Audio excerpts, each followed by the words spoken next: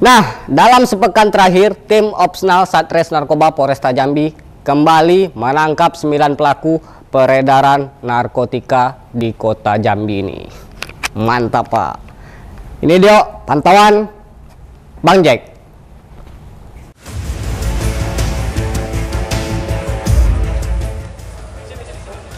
Sebanyak 9 pelaku peredaran narkotika ditangkap Satres Narkoba Polresta Jambi selama sepekan terakhir. Para pelaku yang ditangkap tersebut berperan sebagai pengedar dari tiga kasus berbeda, dengan total barang bukti 6,2 gram sabu dan 75 puter ekstasi.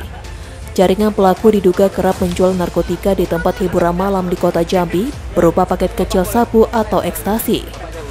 Dari sembilan pelaku, dua di antaranya perempuan yang mengaku terhimpit kebutuhan ekonomi sehingga nekat menjual narkotika.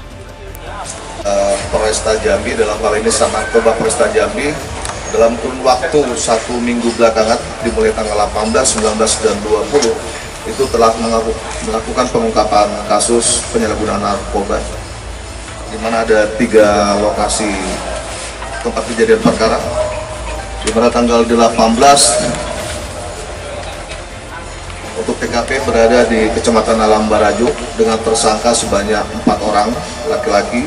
Kemudian tanggal 19 untuk TKP di daerah Kecamatan Jambi Selatan dengan tiga orang, ulangi satu orang laki-laki dan dua orang perempuan.